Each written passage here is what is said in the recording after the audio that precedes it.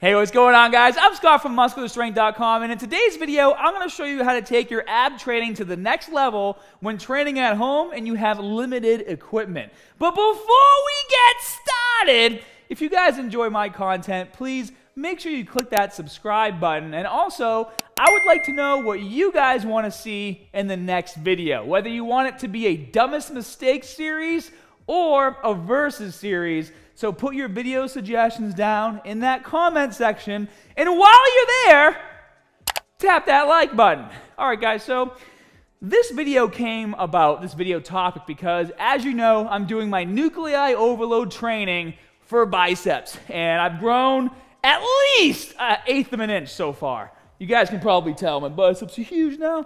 Anyways, that video's coming, the end result, once I'm done with it. But uh, in doing the 100 reps a day, I'm basically doing 10 sets of 10 repetitions, and I'm resting like 20 to 30 seconds max in between my sets. And instead of just kind of standing around, I thought, well, maybe I can do some nuclei overload training for my abs as well. As you guys know, it's okay to train your abs every single day, doing things like floor crunches because your midsection can handle that abuse. And to be honest with you, I actually feel much tighter in my midsection after doing it even when I just kind of stand and flex or I'm not flexing, I'm noticing more lines and I'm noticing these lines are starting to come back in super tight as well. So I started off obviously just doing floor crunches and this is probably what most of you guys do too. You know, you go home, you're like, I want to do some crunches. Guys, like I'll even do floor crunches in between like waiting periods when I'm playing Call of Duty and I'm waiting for the next match to start. But a floor crunch, obviously with proper form, looks like this. You're down in the bottom position. You come up, go to your knees. This is a sit up, all the way down, all the way up. Now, what starts to happen is if you don't have great flexibility or core strength, or if you're starting to get tired just from doing a lot of repetitions, most people tend to start to use a bit of momentum to get themselves to the top part of the movement, right?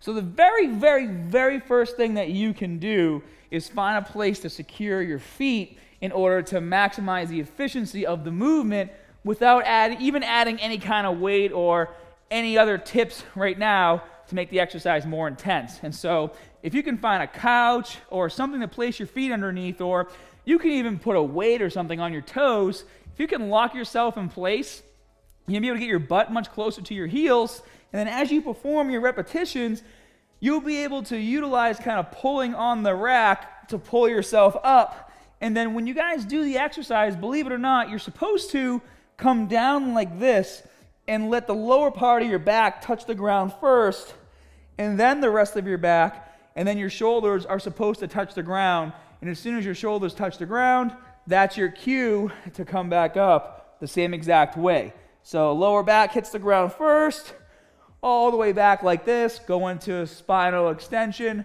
and then go back into flexion like this and that's how you perform a rep. And now when I start to get tired, all I'm going to have to do is kind of pull through my toes a bit more, and then I can flex my core and focus on maintaining proper form. Now, the second thing you can do is to increase the intensity of the spinal extension that you get at the bottom of the repetition, and you can do that using a pillow. And now I actually have some older videos, and I told Ricky about them, and he's like, What the hell are you talking about?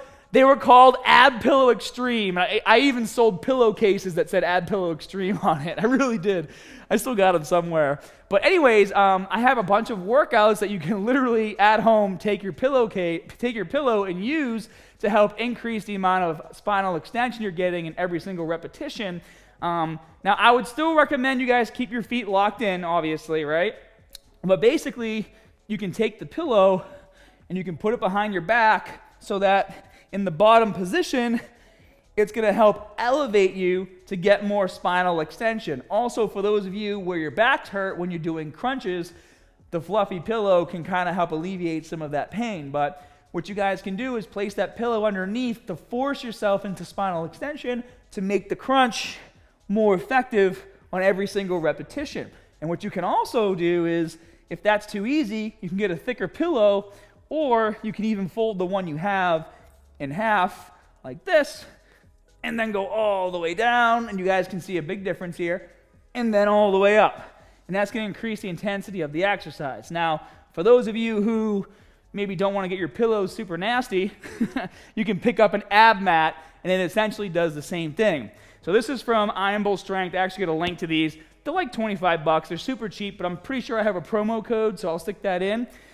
But if you notice on the pad in the front, it's a bit higher than it is in the back right here. So if you've never done this before, you can use the lower elevation in the front and pin that to your back. And as you get stronger, then you can kind of flip it around and use the thicker elevation here to make the exercise more intense. And the third way to make ab crunches at home more intense is to start adding some weight. But what I don't want you guys to do is rush to the heavy weight. Believe it or not, it's gonna be a lot harder to get intense reps with this than it is with this. And let me explain. Now, most people, when they want to do a weighted crunch, they just assume that more weight is better. And to a degree, they're correct. The problem, though, when doing a crunch is if you're getting yourself into position, so at this point we're applying weight, so that means we're already going into extreme spinal extension to maximize the crunch in every single repetition. Most people grab a plate like this and hold it on their chest and then start doing crunches. Now, what happens is from here to here, it might feel pretty heavy, but then as soon as you get to about here, it's like the weight doesn't even really do anything. And you can try to offset that by holding it above your head like this and then coming up like that. But then what you're gonna notice is if you're doing high repetitions like 20 to 30 reps, your arms are gonna start to fatigue and then it's gonna kind of impede your ability to do multiple sets of high repetitions with crunches. Now, if you take a two and a half or five pound plate and you place it behind your head like this, and then start performing crunches, you're gonna notice right away that you're maintaining a higher level of tension on your abs throughout the entire repetition, even when you get to the top, and then as you start to go back down. And because we're holding the weight behind our head, even though it's five pounds, it's going to feel just as heavy as the 25 in front because of leverage, right? You guys know all about leverage and how it works. Holding it behind your head is going to feel way harder and more difficult than holding that same weight right here on your chest because it's closer to your center of gravity. So, this is the third and final way to make your ab training at home more intense, and it's a combination of all three tips. Lock in your feet, Get some elevation on your back to increase your spinal extension, and then toss some weight behind your head. It's that easy, guys. And if you enjoy this quick tip to help make your home training more effective, let me know by tapping that like button and commenting below. And as always, more good stuff coming soon. See you guys. I wasn't kidding, guys. Ab Pillow Extreme workouts over here. You've got to check them out. Seriously, they're like 15, maybe 20 minute live workouts where I literally take a pillow and I show you how to utilize it to destroy your abs. And the thought process behind those when they were first created was if you were traveling and at a hotel and you didn't want to leave your hotel room but you wanted to train your core, just take one of their pillows and get to work. So make sure you check that out. And as always, Download my app, Muscular Strength. It's the easiest and best way you can support me while still gaining access to my fitness program and my custom meal planner. So check it out. I'll see you there.